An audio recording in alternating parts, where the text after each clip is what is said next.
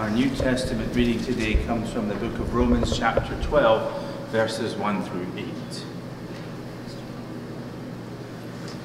I appeal to you, therefore, brothers and sisters, by the mercies of God, to present your bodies as a living sacrifice, holy and acceptable to God, which is your spiritual worship. Do not be conformed to this world, but be transformed by the renewing of your minds, so that you may discern what is the will of God, what is good and acceptable and perfect. For by the grace given to me, I say to everyone among you, not to think of yourself more highly than you ought to think, but to think with sober judgment, each according to the measure of faith that God has assigned. For as in one body we have many members, and not all the members have the same function, so we who are many are one body in Christ, and individually we are members of one another. We have gifts that differ according to the grace given to us prophecy in proportion to faith, ministry and ministering, the teacher in teaching, the exhorter in exhortation, the giver in generosity, the leader in diligence, the compassionate in cheerfulness. Amen. This is the word of the Lord. Thanks be to God. And let us go to God in prayer. Gracious God, be with us this day as we hear your word and give us courage to put your word into practice and be with us in all that we do in and for your work. In your name we pray. Amen. We humans are responsible, hard-working beings. We give 110% to all we do, and we are motivated to complete a task. Giving up is never an option. However, there are those rare occasions, those moments when we do not complete a goal, and those days, as dedicated as we are, we just need an extra day off. I found an internet article in USA Today. It was posted in 2014, and it gives some pretty creative, creative excuses on missing a day of work.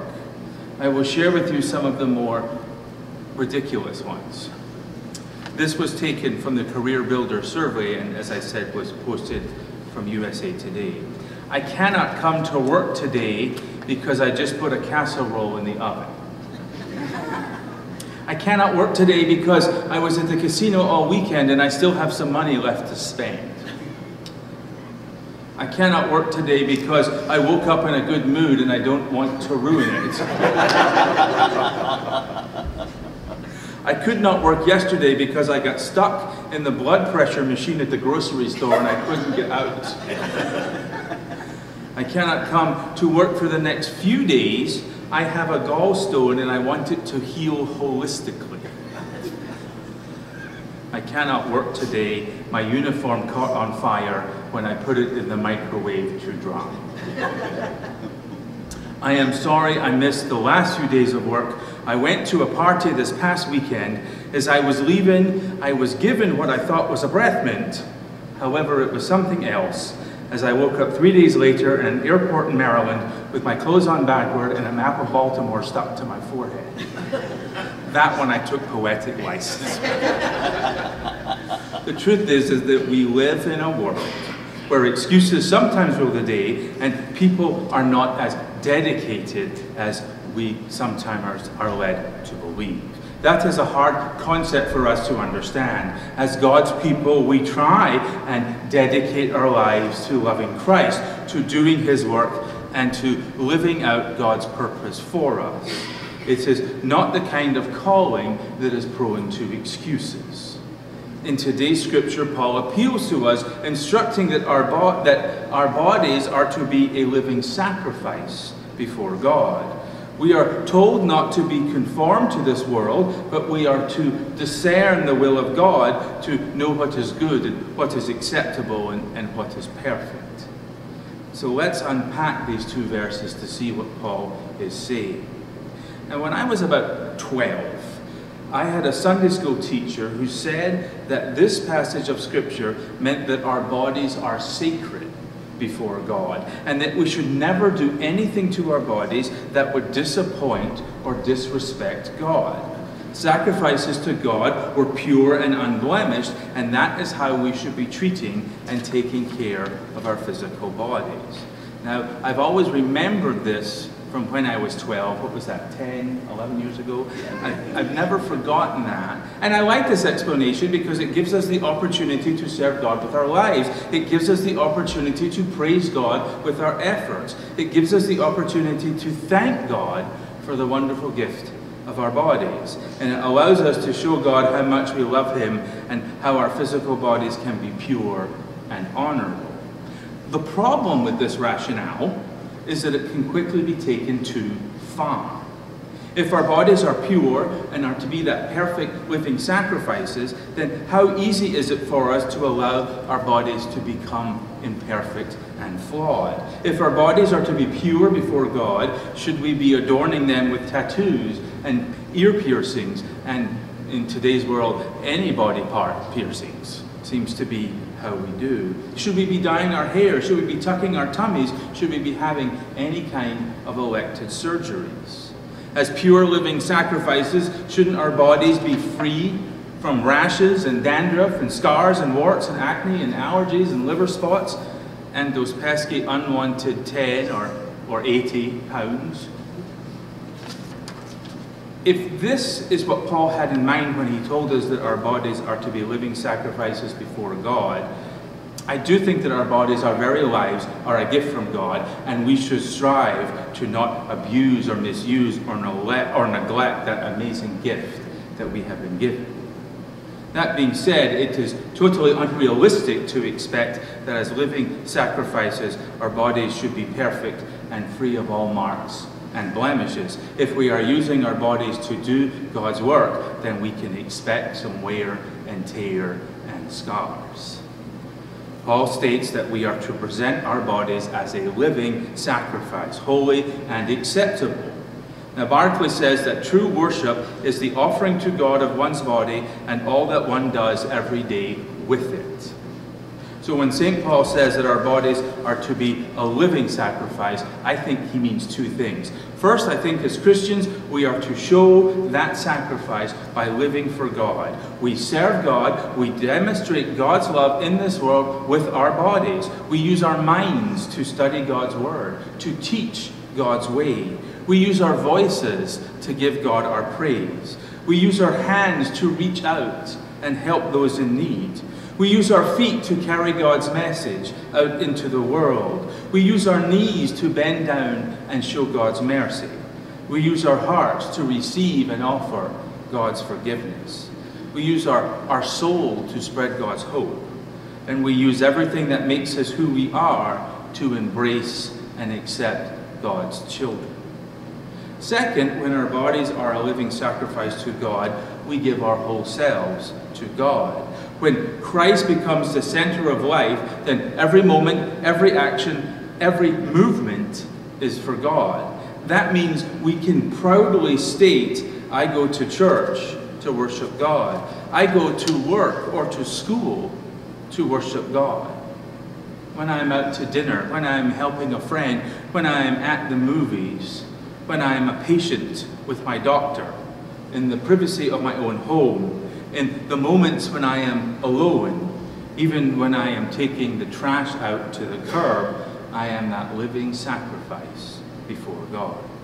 We Christians are not chameleons. We are not allowed to blend into our environments and do whatever we please when that situation suits us or fits us. In every situation, we must take the opportunity to serve our Lord and Master, to be that living sacrifice. This is hard to do. It's hard to do in today's world. It's hard to do at any point to always be that sacrifice, to always be on, to always think and put God first, and knowing that we are His example into the world at every moment of every day. Here's what Max Lucado says about these verses. The only problem with a living sacrifice is that it keeps wanting to crawl off of the altar. There are days when giving that 110%, living that sacrifice, being that example, honing that commitment, it's, it's too much. and we need a break. We need that opportunity to crawl off the altar and take a step back. And God is not only with us when those feelings surface, God comes to our rescue as well. In other words, God knows this. And when we feel overwhelmed and when we're doing too much, we can see God is with us. God is that small voice that calms us.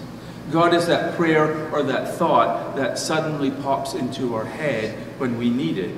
God is that friend that calls out of the blue and just at the right time. God is that child that crawls into our lap and brings us back to reality.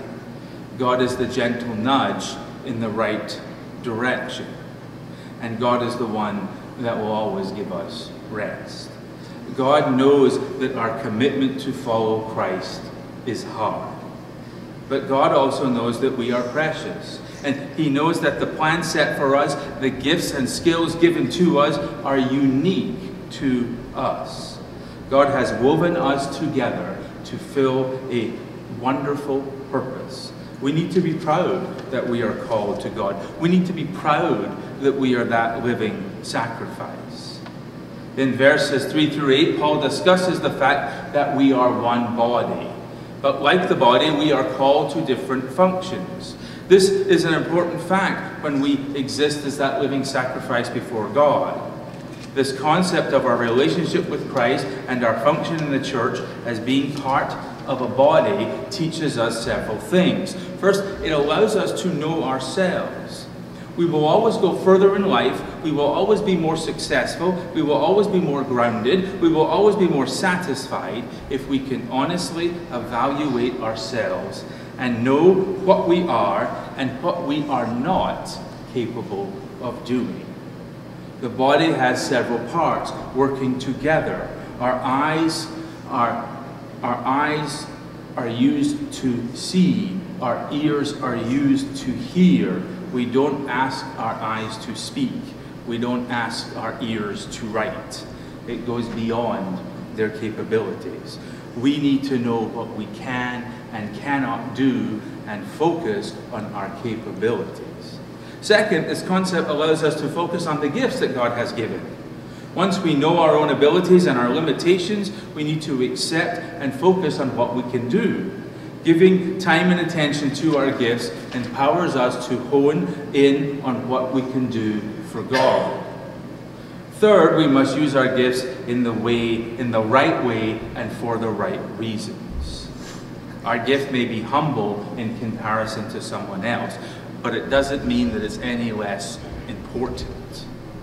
However, we, when we use our gifts to be that living sacrifice, our motive should be to serve God.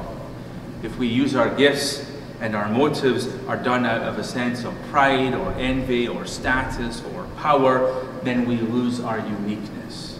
Our lives must be lived out for God's purpose, or we are not living for God.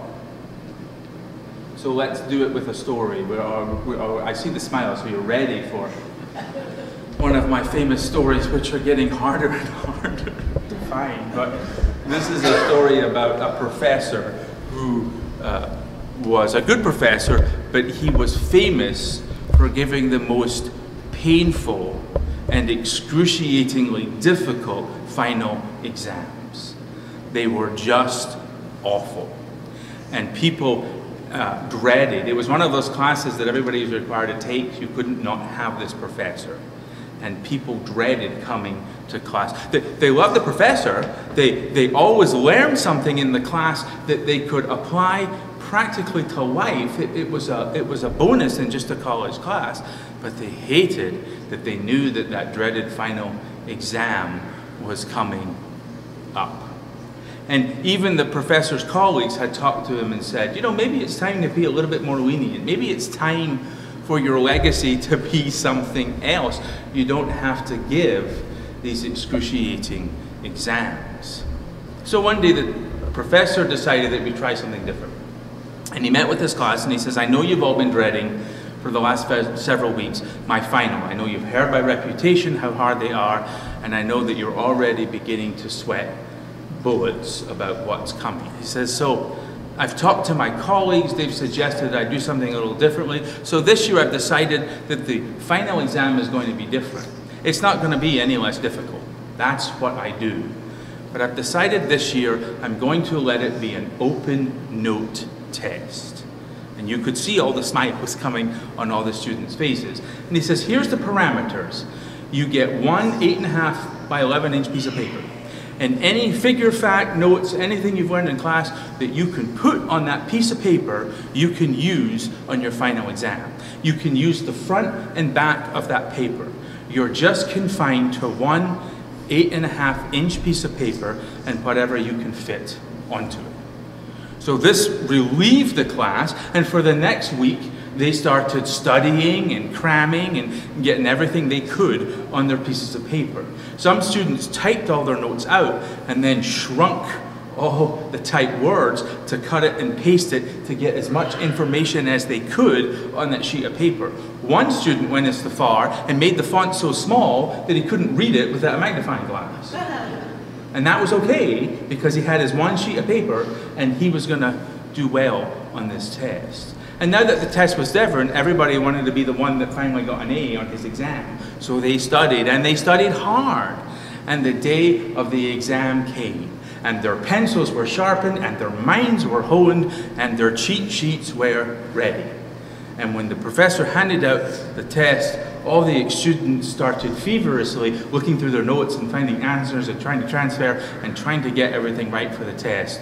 But one student just sat there, staring at his exam.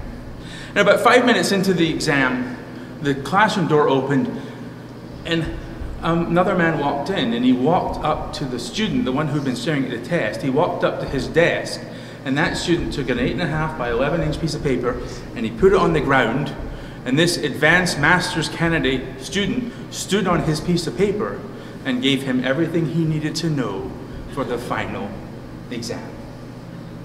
And that year, that student was the only one to get an A. That student was able, in a creative way, to know his limitations, to know his gifts, and to respect the God given gifts of other people, to work in this world to make a difference, even if it was for a, an exam on a test. We are to be those living sacrifices for God. We are to do this every second of our lives relentlessly without ever giving up. And we can do this when we know our own limitations, when we know what we can do and what we can't do, when we embrace and live for God with the things that we can do. We can do this when we recognize the God given gifts that we have been bestowed with and we can use those gifts to serve God in the world. And we can do this when our motivation is clear, when we are doing this for God and not for ourselves. Is this hard? Absolutely. Can we do this? With God's help, we can. Let us pray. Gracious God, be with us this day. Help us to do your work, no matter what that is. Give us your presence and your love to see things through, now and always. Amen.